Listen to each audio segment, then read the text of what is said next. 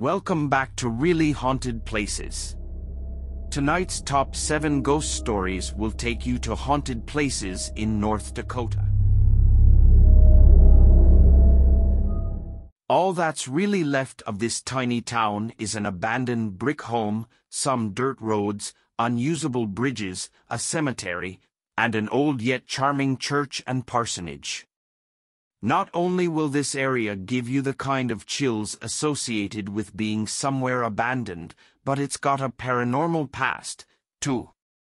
The parsonage has long been considered haunted by a woman who once lived there, sometimes referred to as the Grey Lady.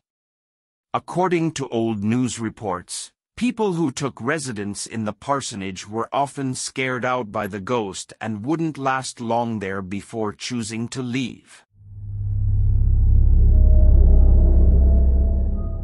The Fort Totten Historic Site has been through quite a wild history.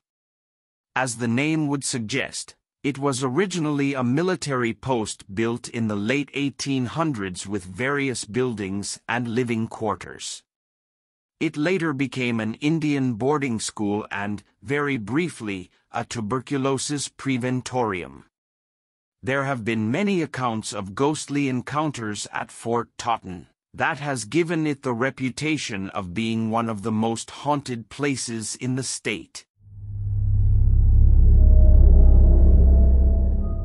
In 1898, the then governor of North Dakota, Frank Briggs, died of tuberculosis in the master bedroom of the house.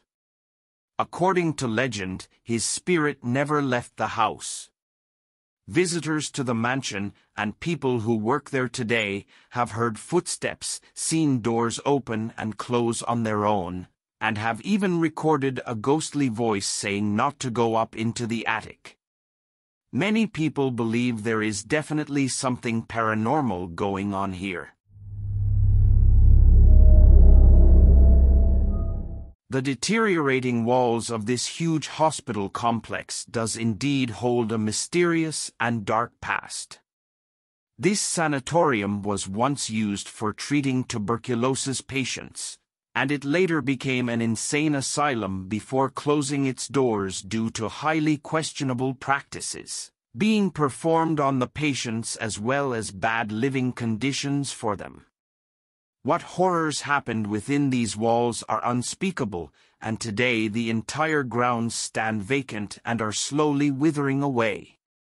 Vandals have contributed greatly to its decline, and many people claim that there are tortured souls still lingering here.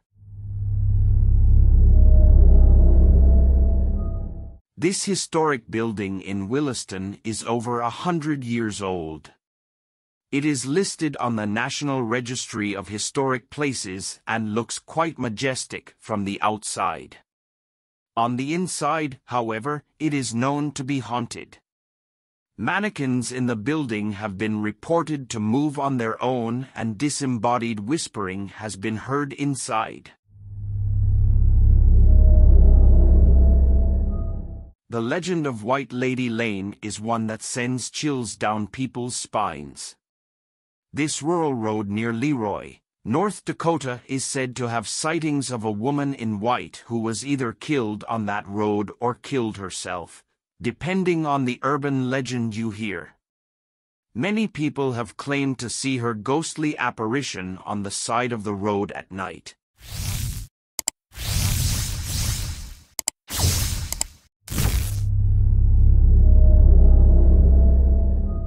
It may seem like the unlikeliest place to find a ghost, but believe it or not one of the most haunted locations in North Dakota is Medora Fudge and Ice Cream Depot.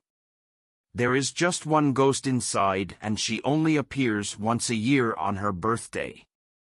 However, all year round there are unnatural cold spots and strange noises, she just doesn't manifest apart from on her birthday. I want to thank you for listening to our top 7 ghost stories. And until then, good night.